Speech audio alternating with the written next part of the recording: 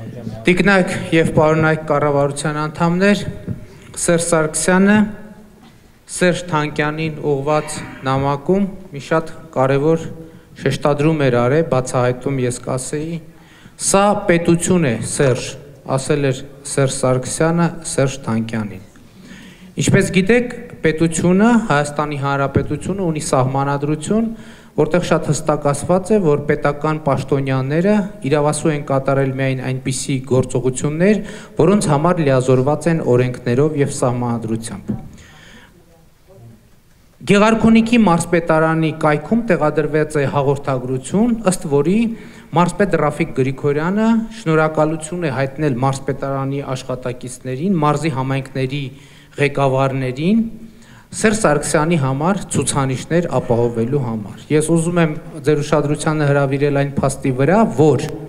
մարզպետները, համանքի ղեկավարները ընտրական process-ներին քարոշչությամբ կամ ցուցանիշ ապահովելու իմաստով չեն կարող մասնակցել։ Նույնիսկ Գեղարքունիքի մարզպետանի կայքում ընտրական ցուցանիշներ են հրապարակված, թե ով ինչ ինչքան ձայն է ստացել։ Նմանատիպ շեշտադրմամբ հանդես է եկել Արմավիրի մարզպետը, Աշոտ Ղահրամանյանը, որ Սերժ Սարգսյանի համար ցուցանիշներ է ապավել, իսկ Աշոտ Գիզիրյանը Գեղար Շիրակի մարզպետը ցուցանիշներ չապահովելու համար հրաժարական է տվել։ Հիմա հասկանանք, սա պետություն է, թե պետություն չէ։ Հայտնի իմաստով։ Երկրորդը. Հայաստանի Հանրապետության հավաքների մասին օրենքի 32-րդ հոդվածում հստակ ասվում է, որ Եթե հավաքը խաղաղ բնույթ ունի, ապա ոստիկանությունն իր իրավասությունների սահմաններում պարտավոր է աջակցել հավաքին։ Վերջին օրերին մենք ոստիկանության կողմից անընդհատ հավաքները խոչընդոտելու դեպքերի ենք ականատես լինում, այն հիմնավորման, որ դրանք օրինական չեն։ Հաստատեք ուրեմն, որ բոլոր այն հավաքները, որոնք խաղաղ են, հավաքների ազատության մասին օրենքի համաձայն, դրանք չեն կարող համարվել ապօրինի։ Հենց այս օրենքին սևով սպիտակի վրա գրված։ Եվ երկրորդ այս ֆոնին Այսպես ասած կներեք այս բառի համար կիսահանցագործ դեմքերը նորից սկսել են ակտիվանալ։ Ինչ նկատի ունեմ կիսահանցագործ դեպք ասելով։ Ուրեմն ժամանակին, երբ որ միջադեպ էր տեղի ունեցել Հայ ազգային կոնգրեսի ակտիվիստների հետ, այն ժամանակ ոստիկանության պետ Ալիկ Սարգսյանը լրագրողների հարցինի պատասխան այդ միջադեպի մասնագետների նկարները տպագրվել էր, ասել էր, որ դրանք կիսահանցագործ դեմքեր են, բայց պարզվել էր դրանք ոստիկանության աշխատակիցներ են եւ դա ոստիկանության պետի բնորոշումն է եւ այսօր նույնպես էլի մարդկանց նկարներ են դրված ովքեր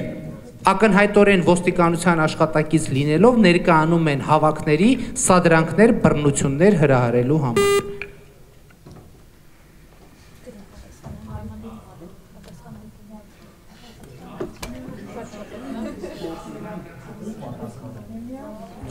Ձևակերպեք ձեր հարցը, երրորդ խոսափող։ Երրորդ խոսքը այս կիսահանցագործ դեմքերի գործունեության պատասխանատվությունը ոստիկանությունը կրում է թե չի կրում հարցը սա։ Առաջին հարցի պետությունա թե պետություն չի Գեղարքունիքի մարզպետարանը ընտրություններում Հարցին պատասխանի Հայաստանի Հանրապետության վարչապետ Տիգրան Սարգսյանը։ Գեղարքունիքի մարզպետարանի գործունեության ձեր մեկնաբանությունը եւ մյուս մարզպետների։ Առաջերտին ուզում եմ շնորհակալություն հայտնել ձեզ, որ ուշադրության կենտրոնում եք պահում այն բոլոր խնդիրները, որոնք առնչվում են ընտրությունների հետ եւ օրինականության հետ եւ փորձում եք նաեւ օգնել մեզ բացահայտելու դեպքեր, որոնք առնչվում են օրենսդրության հետ եւ դուք արձանագրում եք, որ կան օրենքի խախտումներ։ Մենք անպայման ձեր կողմից բարձրացված հարցերը կքննարկենք։ Ես առաջ անգամ եմ լսում, որ մեր մարզպետը այդպիսի հայտարարությամբ դիմել է իր աշխատակիցներին բայց միևնույն ժամանակ պետք է արձանագրենք, որ այս ընտրությունների ժամանակ մեր մարզպետները եղել են շատ աչալուրջ եւ մենք խստագույնս հետևել ենք, որ վարչական միջամտություններ, վարչական լծակների օգտագործումներ չլինեն։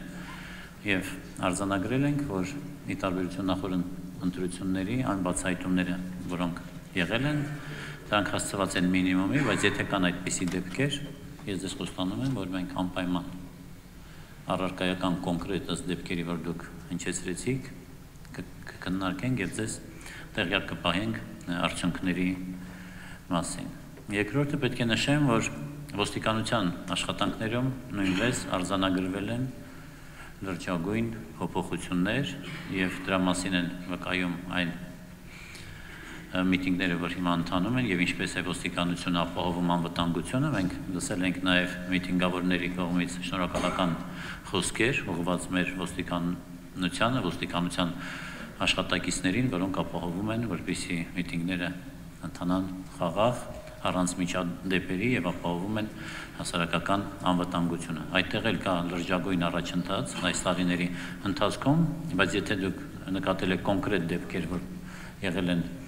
ինչ-ինչ խախտումներ, մենք պատրաստ ենք նաև այդ կոնկրետ դեպքերը քննարկել, իսկ ինչ վերաբերում է ձեր վերջի հարցադրմանը, մենք չենք հանդուրժելու, որպեսզի քրեատար էլեմենտները ինչ-ինչ մասնակցություններ ունենան հասարակական միտինգներում կամ երբ որ քաղաքացիները փորձում են կազմակերպել օրենքով սահմանված միջոցառումներ, բնականաբար այդտեղ էլ եթե կլինեն ձեր կողմից կներկայացնեն դեպքեր, մենք բնականաբար նույնպես կքննարկենք այդ բոլոր դեպքերը։ Երրորդ խոսափուղ Շնորհակալություն։ Նախ առաջինը ուզում եմ ասել, որ այսօր էլ ոստիկանների ներկայությամբ լրագրողի գործունեությունը խոչընդոտելու եւ լրագրողի ֆիզիկական վնաս հասցնելու դեպք է արձանագրվել հենց ոստիկանների ներկայությամբ եւ ոստիկանները որևէ կոնկրետ միջոցառում չեն ձեռնարկել միջդեռ 3 ընդդիմության ակտիվիստին արտաշատում ուզում էին արդեն բերման ենթարկել երկրորդը կարող եք հաստատել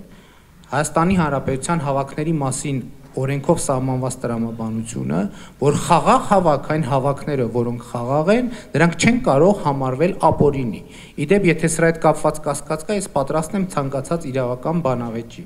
Եվ հաջորդը մենք ձեզ չէ որ ուզում ենք օգնել, մենք ուզում ենք օգնել Հայաստանի Հանրապետությանը եւ նրա ժողովրդին ի վերջո Հայաստանում օրինական իշխանություն հաստատելու գործում։ Եւ քանի որ առիթ եղավ արտաշատի մասին խոսել, ես ուզում եմ հանրության եւ խորհրդանի եւ խորհրդանի գործող նախագահի ուշադրությունը հրավիրել այն փաստիկապակցությամբ, որ արտաշատը քաղաքական process-ների առումով արդենին արդենից երկար ժամանակ շատ տխրահարճակ տեղ է դարձել եւ ամեն անգամ այնտեղ տեղի են ունենում իրադարձություններ, որոնք ցույց են տալիս, որ ըստ ամենայնի իշխանական ինչ-ինչ ուժերի հովանավորությամբ, այո,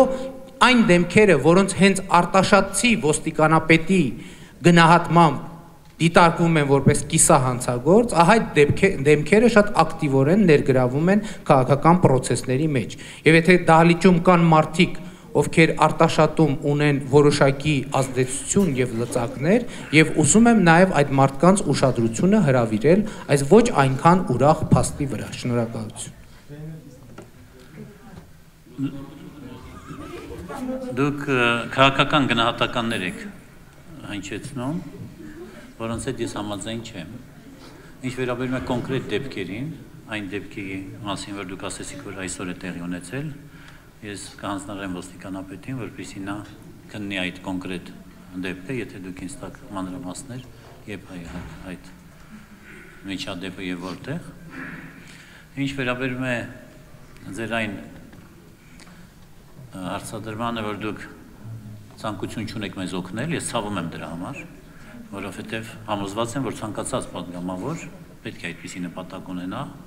օգնել գործադիր իշխանությանը թեկուզ օրենքներ ընդունելով, դա նույնպես ցանկացած ցանկացած դեպքում ես կարծում եմ,